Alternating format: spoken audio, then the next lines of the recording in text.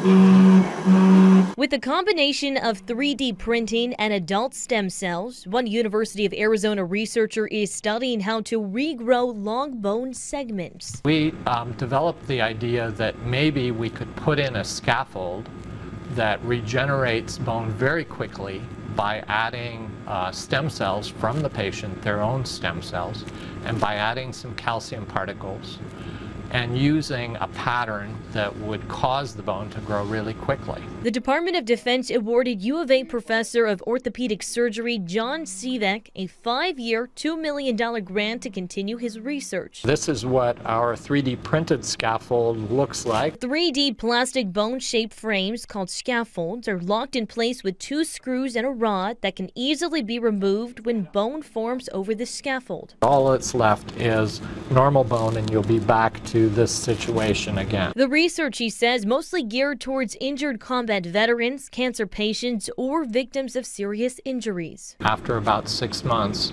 your body tends to give up trying to produce new bone and starts producing scar tissue.